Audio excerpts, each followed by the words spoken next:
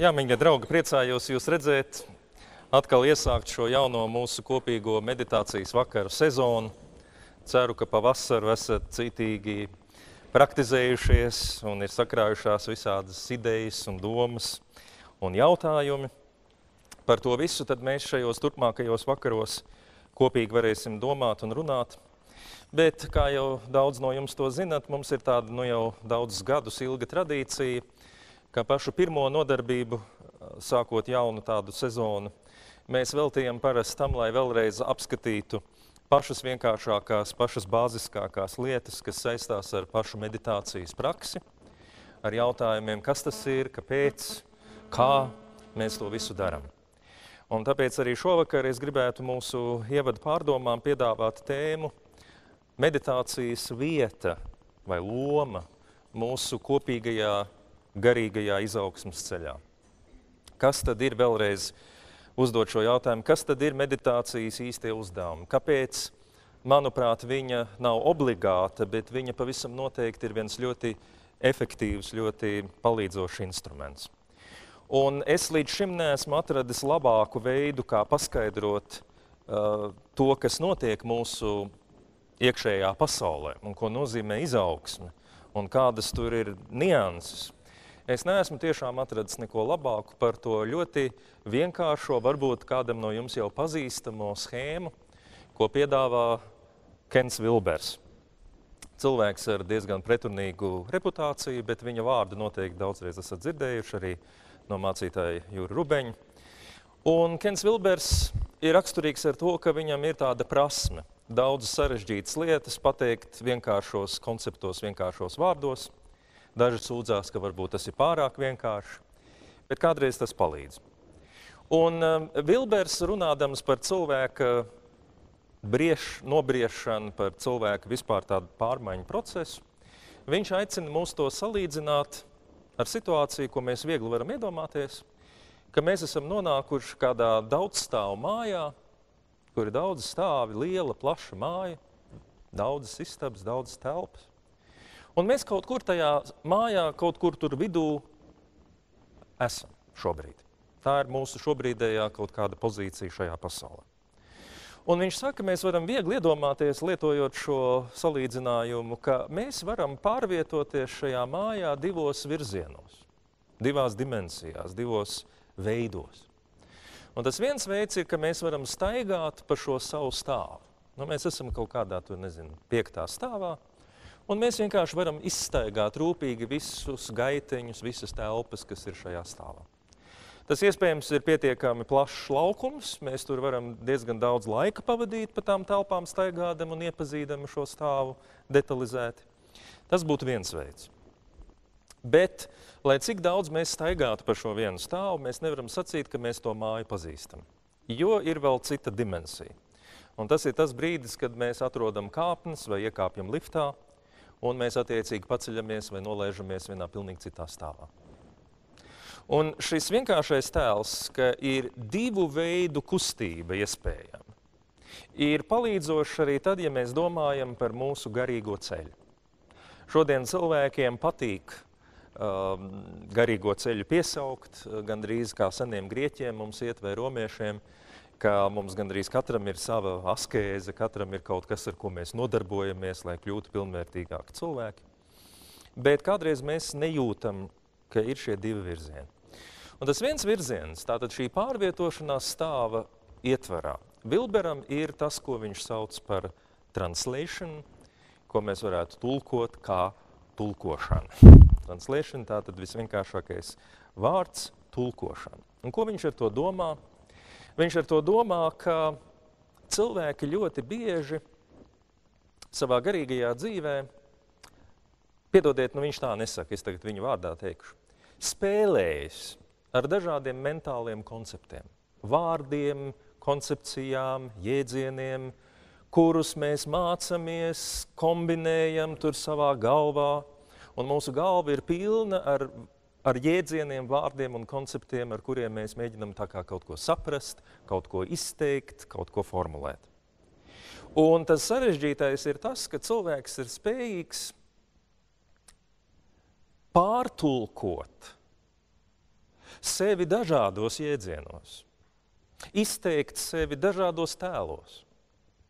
Un kādreiz cilvēkam liekas, ka ja viņš ir to savu veco būtību, to savu veco saturu, personību, ja viņš ir vienkārši viņu izteicis vienā citā valodā, veidā, tad ir noticis ļoti būtisks garīgs progress. Un Vilbers grib sacīt, ka tā nevienmēr ir taisnība. Un par to mēs esam arī runājuši jau iepriekšējās sezonās. Proti, kāpēc tulkošana? Tas ir ļoti palīdzošs tēls. Man ir viena grāmata, es viņu pārtulkoju citā valodā. No vienas puses, tā ir baigā pārmaiņa. Tur ir cita valoda, cita gramatika, citi burti, cits iesējums, cits vāks. Tā ir gandrīz pilnīgi cita grāmata. Un, ja kāds cilvēks nezina abas divas valodas, viņš pat tiešām var iedomāties, ka viņam plauktā stāv divas, trīs, četras, piecas, ja gribat, dažādas grāmatas. Nu, redziet, viena zaļa, viena zila, viena sarkana, viena bieza, viena plāna, viena ar ķīniešu hieroglifiem, viena ar latviešu burtiem. Tās ir dažādas grāmatas, vai ne? Bet tas saturs, diemžēl, ir palicis tas pats. Un tas nozīmē, ka mans stāvs nav mainījies, bet es esmu pārgājis vienā citā telpā, es to stāvu turpinu apgūt.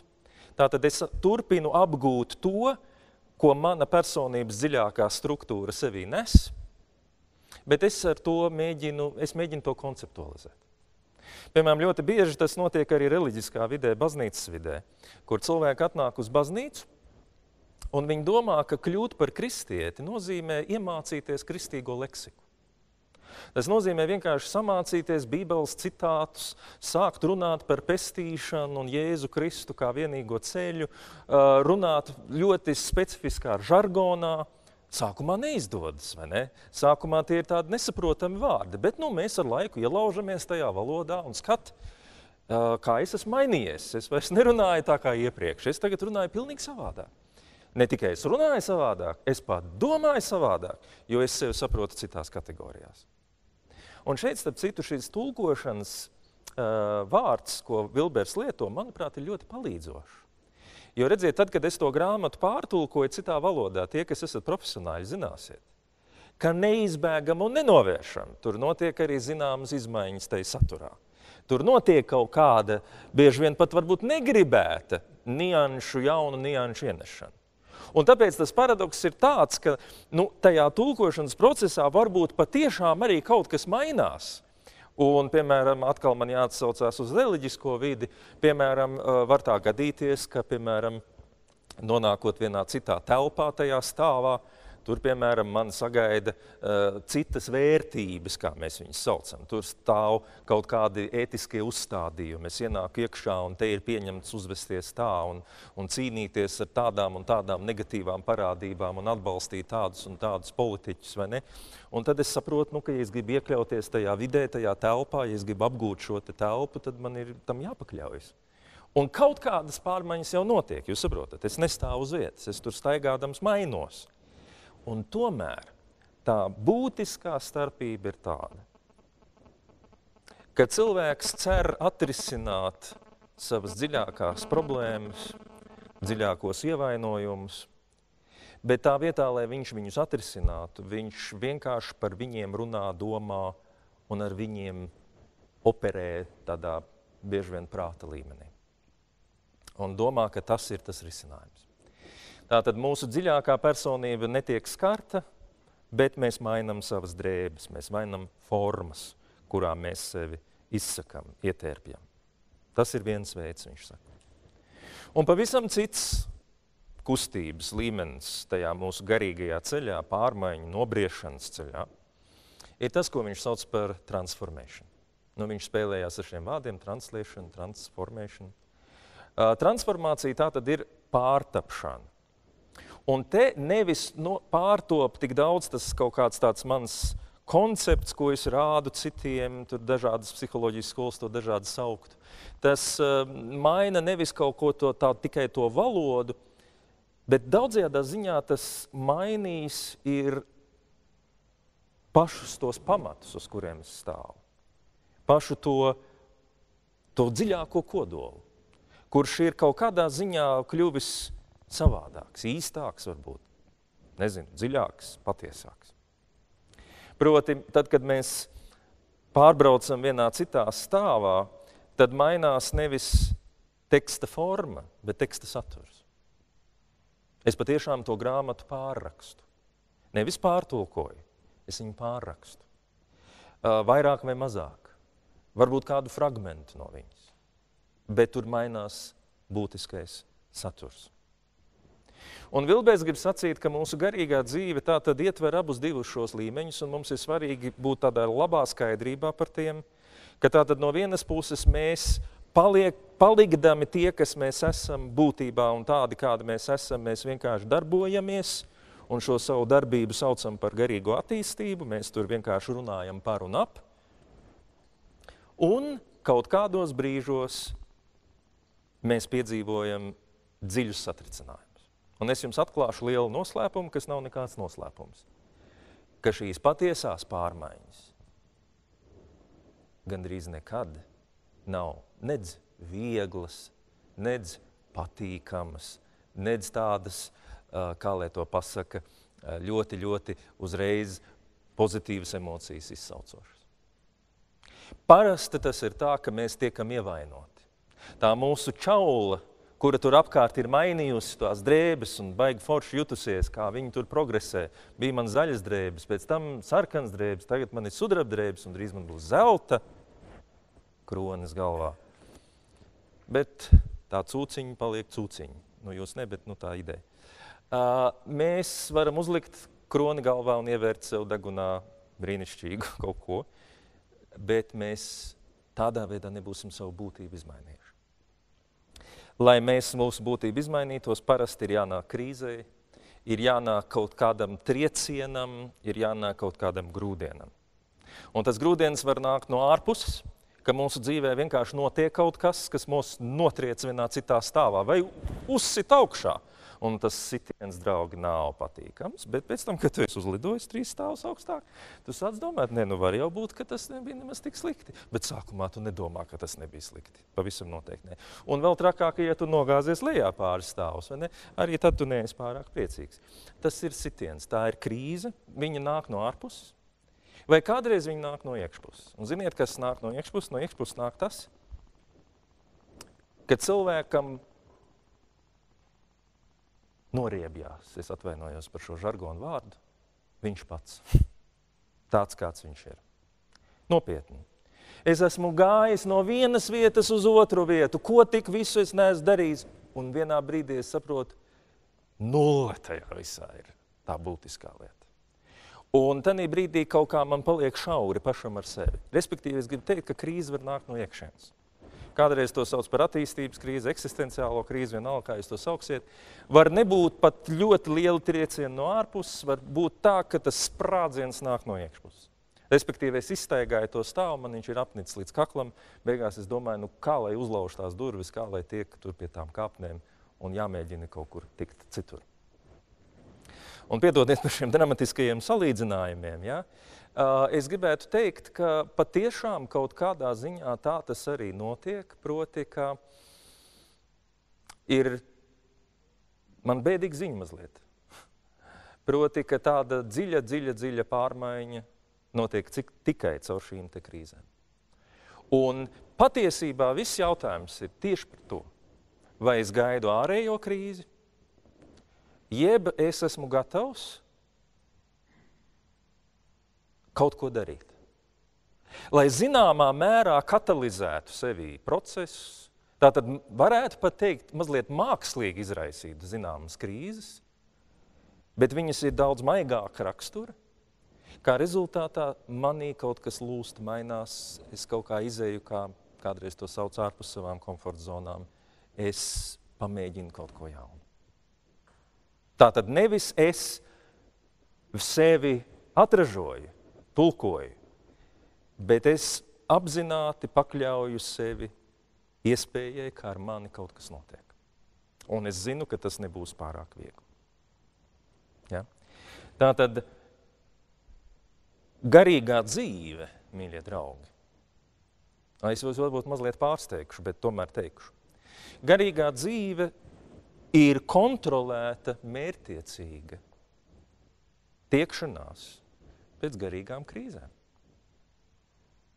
Un tas ir pilnīgi pretrunā mūsu dabiskajai sajūtai. Kāpēc mēs esam garīgi cilvēki? Lai nekad nebūtu nekādu krīžu, vai ne? Lai mēs varētu nodzīvot mierā, lai mums nevajadzētu vairs nekad nervozēt, lai mums nekad nevajadzētu ne par ko vairs cīnīties. Ja? Tas ir, ko mēs gribam. Un tad, kad mēs esam krīzē, Bieži vien tad mēs meklējam Dievu, vai ne? Un tad tas ir tas, ko mēs no viņa gaidām, ka viņš stabilizēs mūsu dzīvi. Un parasti viņš stabilizē mūsu dzīvi tādā veidā, ka mēs izējām no tās krīzes laukā vienā vietā formā, un mēs esam ļoti pateicīgi. Un tad mēs ienākam tajā, tajā stāvā, tajā plāto, tajā lielajā līmenī, kad nu, tagad tā krīze ir pārvarēta, Dievs man ir palīdzējis, es esmu kļuvis par godīgu kristieti vai garīgā ceļa gājēju, vai tagad tur praktizēju šo un šito, un tā es tur to daru, daru, daru, daru, daru kamēr nāk vai nu nākamā krīze, un es esmu ļoti pārsteigts par to, vai, kā jau sacīju, man apnīkstās. Un es atkal domāju, ko man darīt. Tāpēc kaut kādā ziņā lūdzu vienmēr atcerieties no manis, garīgā dzīve ir laba. Nevis tad, ja man nav vairs nekāda problēma, ja man vairs nav nekāda izaicinājuma, bet garīgā dzīve ir laba tad, ja tie izaicinājumi ir sabalansēti ar manām iespējām, un es atrodos tajā plūsmā, kur no vienas puses ir izaicinājums, no otras puses es tā kā arī vienlaikus zinu, kā to varētu risināt. Tātad tā krīze nav tāda pilnīgi uh, ārprāts, kur vienkārši tagad es esmu nokritis kaut kur, bet tā krīze ir tāda, ko es saprotu apmēram, ko es gribu izdarīt. Un es nezinu, kā tas viss beigsies, bet es zinu apmēram, kurā virzienā man ir jāiet. Tātad tāda mērena spriedze, un tāpēc, ka kādreiz pa daudz mēs aizraujamies ar visādām relaksācijām un atslābināšanām un, un sevis pieņemšanām, mēs varam šo aspektu mazliet pazaudēt. Saprotat man vēlreiz pareizi. Es jūs neaicinu dzīvot nemierā ar sevi kaut kādā ārprātā, jo tas nozīmē parasti to, ka mēs tur kaut kādas lietas neesam atrisinājuši. Bet garīgā, un tā ir vēl viena lieta, nejauciet garīgo dzīvi, garīgo briedumu ar vienkārši kaut kādu traumatisku, patoloģisku, es atvainojos, pieredžu nešanu sevī. Tas ir tāpatās, kā piemēram, nu, ja man piedodiet, lūdzu, sāp vēders vai, vai kāja vai, vai plecs, tad, tad tas, nu, jā, ok, kaut kādā ziņā tas var palīdzēt man kļūt par mīlošāku cilvēku, bet tas nav tā, ka tas ir viens un tas pats un tad es kļūšu vēl mīlošāks cilvēks, un tad man tas plecs pāries no tā. Tas nav gluži tik vienkārši. Var tā būt un var tā nebūt. Proti, ar to es gribu sacīt, ka, ja mums ir kaut kādas konkrētas, tur, nezinu, psiholoģiskas problēmas, mums viņas ir pavisam noteikti jārisina. Bet es šeit runāju par to, ka garīgā dzīve ir nevis iekārtošanās un aizsardzības vaļņu uzbūvēšana iepratī tam, ka tagad es esmu sasniedzis pilnību, tagad es esmu atradis metodi, ar ko es varu atrisināt visas problēmas, bet taisni otrādi. Principā laba garīgā dzīve ir tā, kas man izaicina. Un tas nav viegls ceļš. Tas nav vienkāršs ceļš. Kādreiz šajā ceļā manā apziņā paceļās kādi uzdevumi un kādas neatrisinātas lietas vai risināmas lietas, kuras es varbūt simts gadus nebūtu gribējis redzēt. Un tāpēc eh, garīgajā mm, literatūrā bieži vien runā par specifisku jēdzienu garīgā krīze. Garīgā krīze. Diezgan maz pazīstams jēdziens, eh, diemžēl eh, par maz par to tiek runāts. Un garīgā krīze ir krīze, kas ir iestājusies garīgās prakses rezultātā. Vai cik tas neliktos dīvaini? Tā ir iestājusies tieši tāpēc, ka es esmu gājis kaut kādu ceļu un es esmu nonācis teritorijā, kur es nepazīstu. Un man ir jautājums, ko man tālāk ar viņu darīt. Bet es jūs ļoti lūdzu, draugi, atcerieties, ka mūsu dzīve šeit ir galvenokārt domāta ceļam, nevis gulēšanai uz lauriem.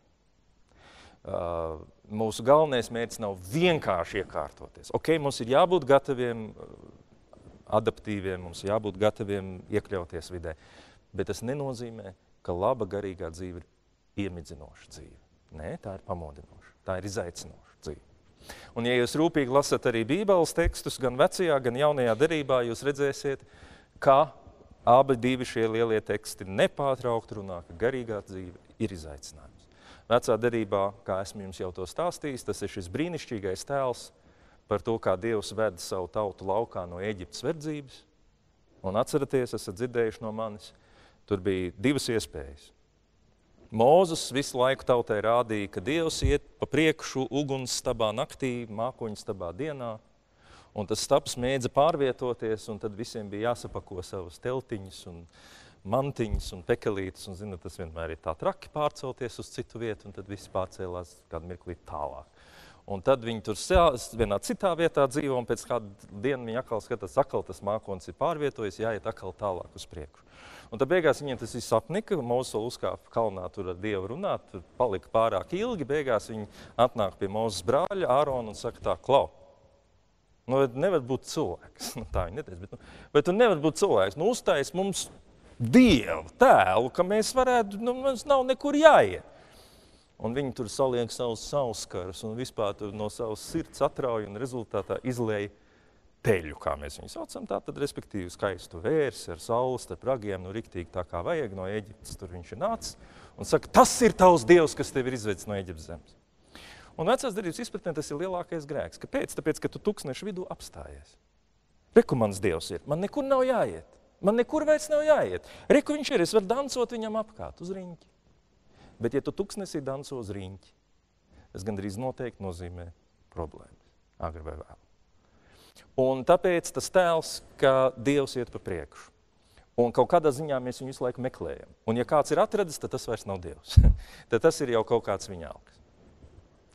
Un savukārt jaunajā derībā jūs pārsteidzoši to pašu varat redzēt pēc, pie Jēzus, kurš pirmkārt tīri fiziski atkārto šo procesu, staigādams nemitīgi apkārt. Savus mācekļus viņš sauc par saviem sekotājiem, kas viņam gāja līdzi no viena ciemata uz otru, un vispār viņi jau sen gribētu atpūsties, nē, bet jāiet tālāk. Tas ir viens un otrs arī intelektuāli. Interesanti, ka, piemēram, ja jūs lasat mm, apustuļu darbu grāmatu, jūs varat redzēt, ka tā aina nav tāda, kā kādreiz varbūt kristieši to stādās priekšā, ka, ka tad, kad Jēzus dzīvoja virs zemes un mācīja savus mācekļus un mira un augšām celās un parādījās viņiem, tad viņi visu saprata. Viņi vienkārši visu saprata. Visu.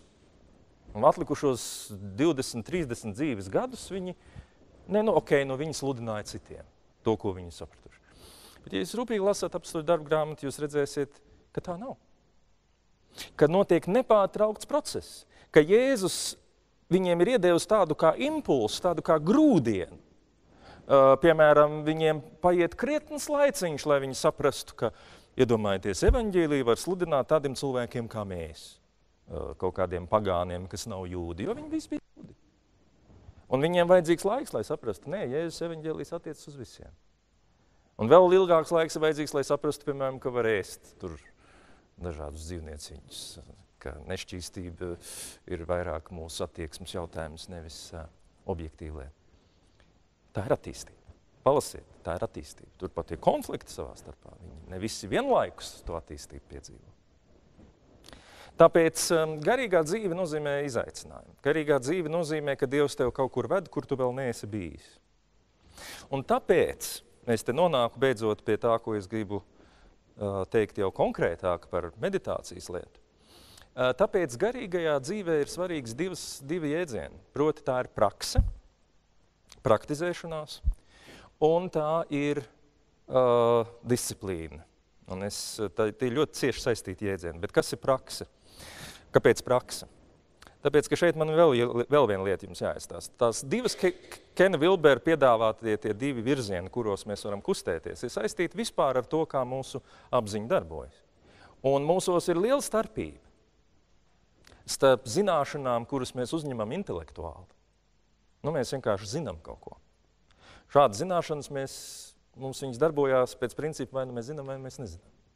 Mēs piedalāmies eksāmenā, mums pajautā, kas tas ir, un tu vai nu vari to pateikt, vai nu tu to nevari pateikt. Nu, ne, no kādreiz tu vari aptuveni pateikt, bet principā vai nu tu zini, vai nu tu nezini. Tad savukārt pavisam cits zināšana veids ir tas, ko mēs mākam, tas, ko mēs protam. Un tad, kad mēs jautājam, vai tu māki spēlēt klavierus, tad tā atbilde nevar būt tāda, ka es nezinu, jo nekad neesmu to mēģinājis darīt. Bet drīzāk tas jautājums ir par to, ka, ja tu gribi iemācīties spēlēt klavierus, tev viņas jāspēlē regulāri un daudz. Tātad, ja tu jo, jo, jo tās intelektuālās zināšanas ir, viņas paliek tajā vienā līmenī. Pārtulkojamas, viņas ir ļoti viegli pārtulkojamas. Bet eh, tās prasmes, tās prasa iestrādāt lietas sevī. Un tāpēc prakses, tieši prakses, disciplinētas, neatlaidīgas, bieži vien intensīvas vai mazāk intensīvas, tur viss tā māksla arī ir, ir bijušas tie veidi, kā mēs šīs kontrolētās uh, krīzes izraisam. Mēs neejam to vieglo ceļu, mēs ejam kaut kādu mazliet citu ceļu. Mēs mēģinam ielurpt dziļāk vai mazliet pakāpties uz augšu. Un vienā brīdī tās sienas grūst un mēs piedzīvojam zināmas pārmaiņas. Ar to es gribu sacīt, ka meditācija, kuru mēs praktizējam un mācamies un saucam zem šī nosaukuma kristīgā meditācija, pavisam noteikti ir šāda prakse vai disciplīna. Disciplīna nozīmē, ka tu um, regulāri, kontrolēti vēlreiz kaut ko dari. Tā ir disciplīna, tas ir tāds process, kuru tu vingrinies darīt. Nevis tā ir metode. Uh, un šī ir atkal viena interesanta lieta, ko cilvēki bieži vien nesaprot. Ka, uh, nu, piedodiet, ka es ar tiem vārdiem te atkal daudz operēju, bet tomēr, kas ir metode? Metode nozīmē to, ka tev ir kaut kāds konkrēts mērķis, tu zini ļoti konkrēti, ko tu gribi sasniegt, un tad nu, tu jautā, kā? Kā es to varu sasniegt? Un tad tev ir metode. Nu, tā. Un, piemēram, viens no lieliem pārpratumiem attiecībā uz meditāciju ir, ka tā ir nomierināšanās metode. Nu, ka, piemēram, teiksim, lūk, man ir stresaina dzīve, tur visādi izaicinājumi, es ar viņu netieku galā. Ko man darīt? Jādzer zāles. Nu, negribu dzert zāles, esmu dzirdējis, ka tas nav labi. Ko vēl es varu darīt? Nu, es varu mēģināt meditēt, vai atslābināties, vai vēl kaut kā citādi rīkoties. Un tas nav slikti, draugi. Es, es tikai saku, ka tas nav tas. Proti, tajā brīdī, kad es to uztveru kā metodi, mums ir ļoti skaidri jāsaprot, tas mans es tur apakšā ir brīnišķīgi nodrošinājies un ir pie svirām. Es zinu, ko es gribu sasniegt, es te tagad sēžu un es tagad kontrolēju. Sasniedzu, nesasniedzu. Kaut kā nesasniedzu no laikam nepareizi dara. Nu, tad es pajautāšu kādam, kā pareizāk darīt. Nu, tad es tur mēģinu pareizāk darīt. Un tā kaut kas notiek, un kaut kas nenotiek. Respektīvi, es vērtēju to lietu nemitīgi pēc tā, kādu mērķi es pats esmu tam uzstādījis. Bet meditācijas viens no tiem skaistākajiem aspektiem ir tas, ka viņa grib vēlreiz izsakoties mūs aizvest tādā stāvā, tādā meža daļā, kurā mēs vēl līdz šim neesam bijuši. Un tas nozīmē, ka tā nav metode. Tas nav tā, ka es tagad zinu jau, kam ir jānotiek. Es jau zinu, kā tam ir jānotiek. Es jau zinu, uz ko es eju. Bet tā daudz lielākā mērā ir ļaušanās tam, kas ar mani notiks, ja es praktizēšu šo disciplīnu. Iedomājieties, es kaut kādu lietu vienkārši daru, un šī lieta pie manis kaut ko izmaina. Un ja es jautāju gudram skolotājam, ko viņi pie manis izmaina, tad viņš kaut ko tur runās un pateiks, bet visumā teiks, zini ko, to pat īsti nevar pateikt. Jo tas, kam jāmainās, ir tai iekšējai izjūtai par lietu. Iekšējai sapratnēji par to, kas es esmu, tam, tam iekšējam kodolam, uh, kurš tur iespējams iegūst vienu citu dziļumu, vienu citu plašumu. Un šeit es atsaukšos arī uz lietu, ko esmu pieminējis, ka kristīgie tūkstneši tēvi, kuri runāja pirmie par kristīgo meditāciju, saukdami to par formulas lūkšanu vai tātad īso lūkšanu, viņi tātad runāja par to, ka garīgajā ceļā ir jānošķir uh, telos no skopos.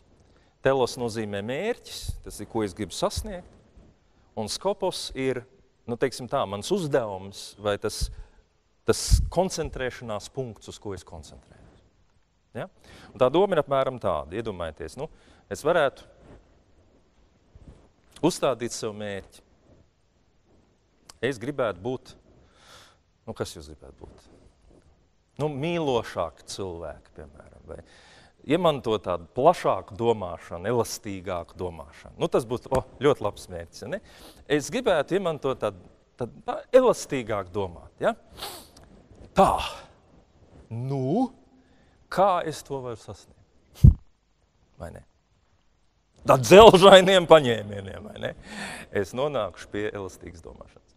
Un viņi sacīja, ka tas ir tāpat kā zemkopis, tad, kad viņš kaisa sēklu, viņš, ko viņš dara? Viņš saka, viņa mērķis ir izaudzēt labību, bet uzmanību viņš piemērš zemē, kur viņš ar, kur viņš apmēslo, par kuru viņš rūpējas, lai viņi būtu auglīgi. Paradoks, vai ne? Man vajadzētu uz tiem graudiem skatīties, man vajadzētu to vārpu vilkt garāku, vai ne, kā tur daži personāži darīja ar kauliņiem. Bet uh, nē, es koncentrējos uz kaut ko citu. Un te ir tieši tas pats moments. To kristieši jau senos laikos saprata, ka ja es gribu piedzīvot šīs pārmaiņas, paradoxālā kārtā man ir jātaisa tāds apkārtceļš, ka es pielieku savu uzmanību, apzinātu uzmanību, mazliet it kā citā virzienā, bet pieredze rāda, ka tieši tad, ja es to uzmanību pielieku tajā citā virzienā, tad, eh, tad kaut kas notiek, jo pa apkārt ceļu tā ietekme man ietekmē. Bet tā nav tāda tieša ietekme, tā nav pakļauta manai tādai ļoti apzinātai gribai, bet tā ideja ir tāda, ka es ļauju sevī kaut kam attīstīties. Nu, domājiet par sevi kā par augiem, vai ne? Un jūs tā konstatējat, ka jums tāds, nevar teikt, podiņš iekšā, bet, nu, tā, teiksim, zemes tāda sauja ir iekšā, un tur ir, tur ir, teiksim, kaut kas izaudzis, es tā vienu dienu skatos, nu, tāds paigi nīkuļo, vai ne? Nu, baigi nīkuļo, ko man tagad darīt? Es varētu sākt kliegt. Te, ko tu neaudz? Es varētu sākt raudāt. Kāpēc man tā neveic? Ko vēl es varētu darīt?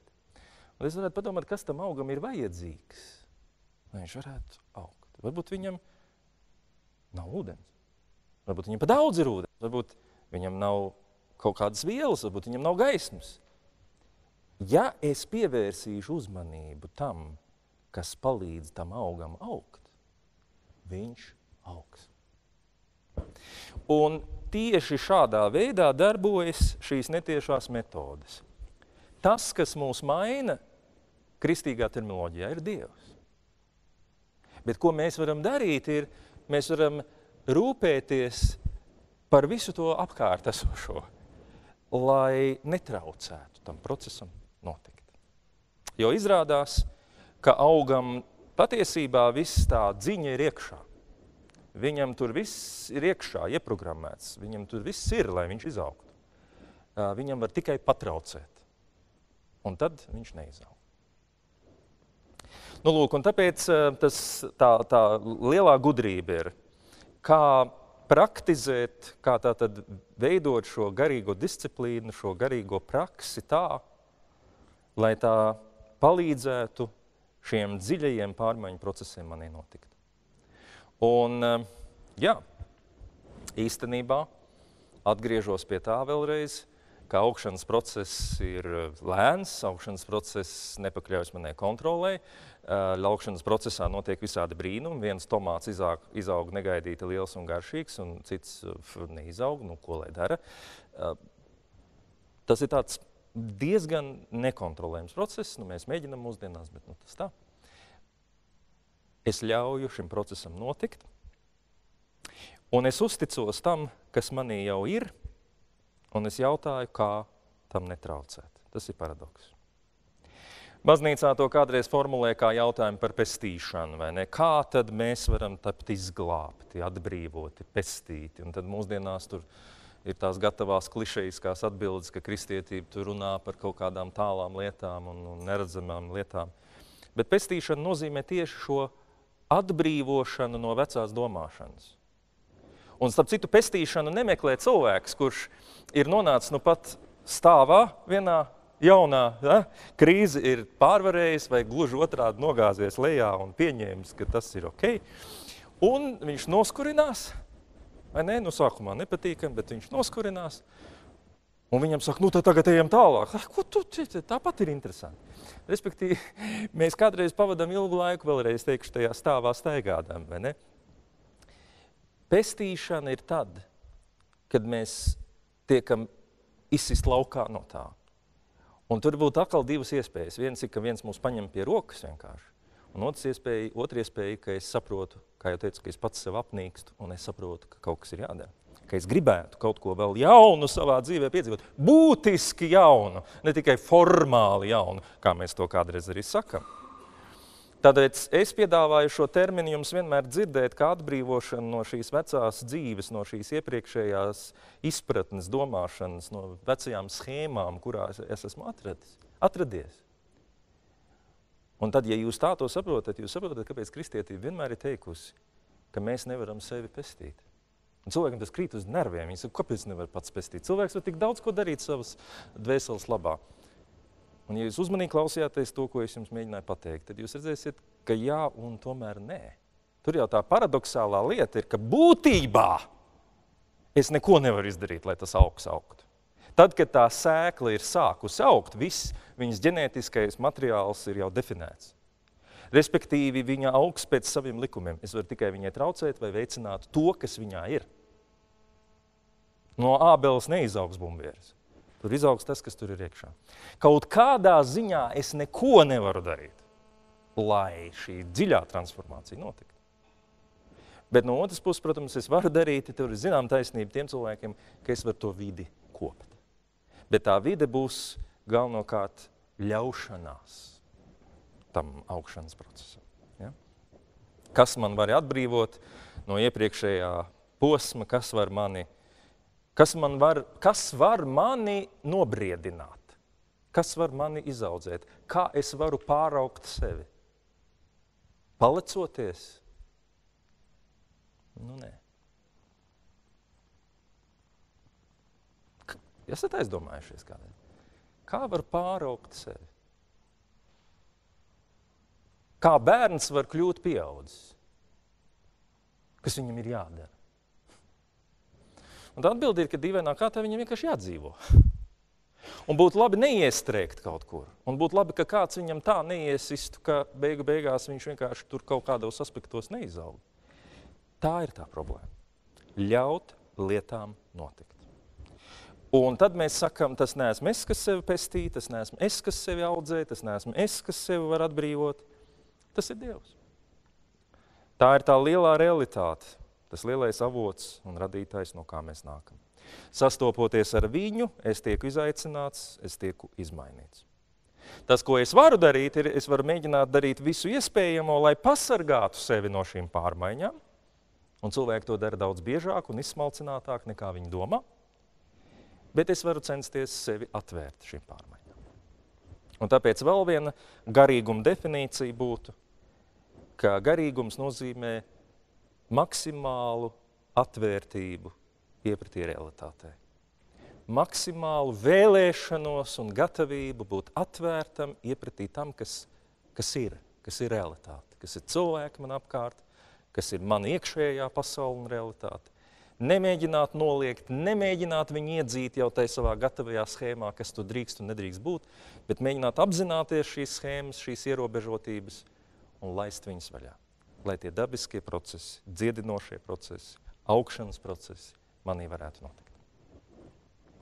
Ja, arī pie visas mūsdienu medicīnas, ja tu iegriez rokā, tad tu vari to brūci apkopt, tu vari viņu dezinficēt, tu vari viņai kaut kādu smērīt, uzsmērēt, bet beigu beigās tas ir organisms, kas viņu sadziedē. Tas ir dabiskais process, kuru mēs tikai varam veicināt vai traucēt, ja mēs to brūci visu laiku ar kaut ko netīru un citādi traumēja. Nu, lūk. Līdz ar to garīgās disciplīnas kristīgajā baznīcā ir dažādas. Par to varbūt kādā brīdī arī vairāk runāsim.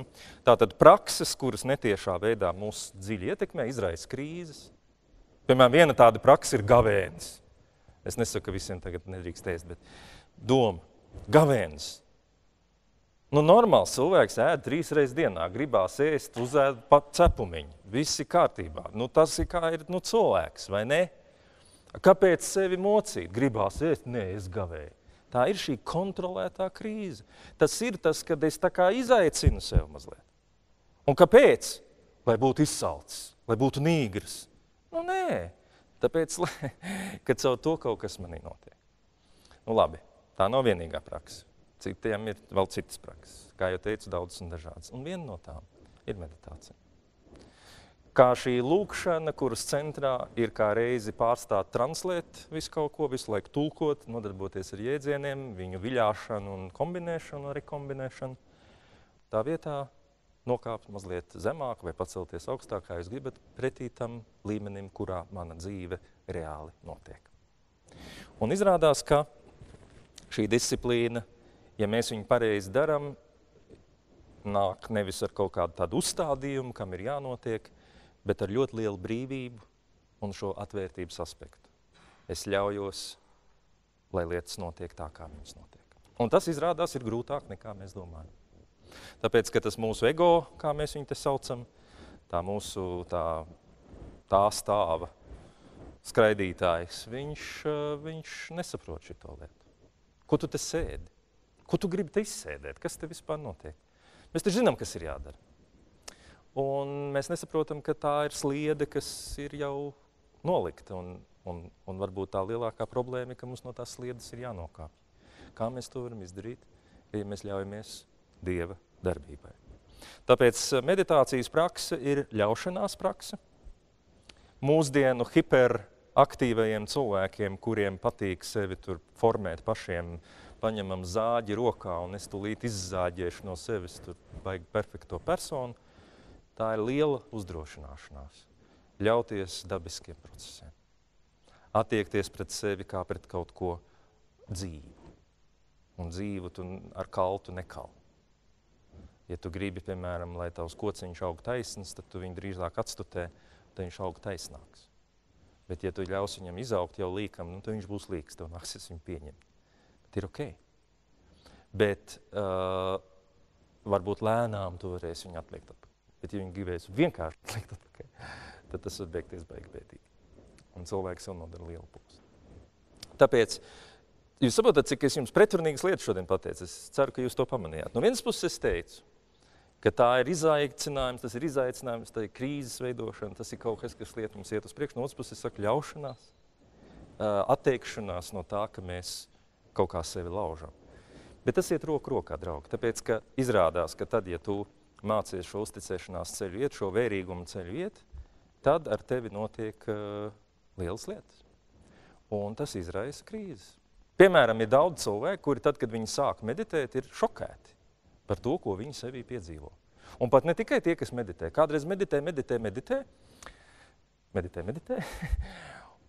un pēkšņi viss, kā es sāku meditēt, tā nāk miegs, vai kā es sāku meditēt, tā paliek bail, vai kā es sāku meditēt, tā kaut kas nāk virsū, vai es tur atceros kaut ko, vai sāk likties kaut kas, un tā tālāk, un cilvēks domā, cauri ir ar mani, un tā tālāk, un tā tālāk.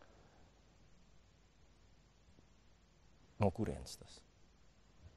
Lūk, ir kaut kādi procesi, kas mūsos kustās. Un viņi, protams, ir jāizvērtē, jāsaprot, ko ar viņiem darīt. Krīzes ir nopietna lieta. Var būt labi un var būt netik labi. Bet arī caur to, ka mēs vienkārši esam kopā ar sevi un Dievu, ļoti daudzas lietas notiek. Un tas, ko mēs mācāmies meditācijas laikā. Tāpēc tā metode ļoti vienkārša. Tūlīt par to runāsim, kad mēs meditēsim šobrīd. Bet uh, pašlaik likšu punktu. Varbūt vēl ir kādi akūti jautājumi par šo laiku radušies, pirms mēs šovakar iesākam mūsu meditācijas posmus. Lūdzu, tiešām.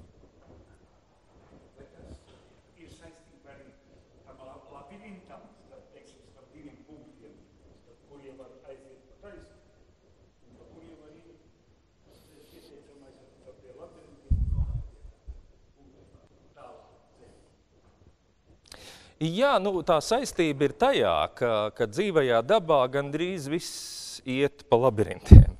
Respektīvi, pasaule ir tik daudz faktoru summa, ka tikai mūsu prātā var pastāvēt absolūti taisnas līnijas un absolūti melnbalti risinājumi.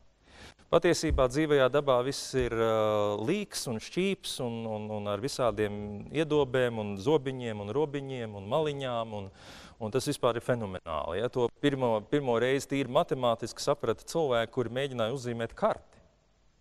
Vienkārši Anglijas karti. Un noskaidrot, cik gara ir robeža gar jūru.